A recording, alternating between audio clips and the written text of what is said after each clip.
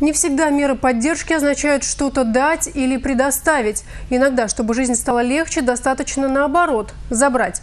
Таким приемом собираются воспользоваться в городской администрации. Давать землю многодетным семьям Владимир Путин предложил еще в 2011 году. С тех пор только в пределах Чебоксар участки получили 126 семей. Правда, вместе с землей многодетные родители получили налоги на нее. В общей сложности их два. Первый – НДФЛ – 13%.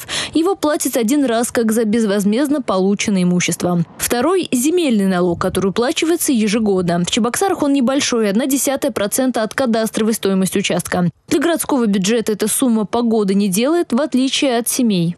По предложению главы республики администрация города выходит на Чебоксарское городское собрание депутатов как э, дополнительную меру поддержки для многодетных семей отменить э, земельный налог по представленным земельным участкам э, на срок трех лет. Таким образом, если органы местного самоуправления инициативу поддержат, то семьи, которые воспитывают трех и более детей в течение трех лет с момента получения земли от налога освободятся.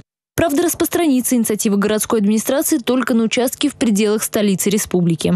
Часть, конечно, земель мы представляем в Марпасадском районе, Маргаушском районе, но э, здесь уже, э, чтобы на них это распространялось, э, необходимо, чтобы администрации уже этих районов приняли соответствующее решение. Ольга Пырочкина, Евгений Анисимов, Республика.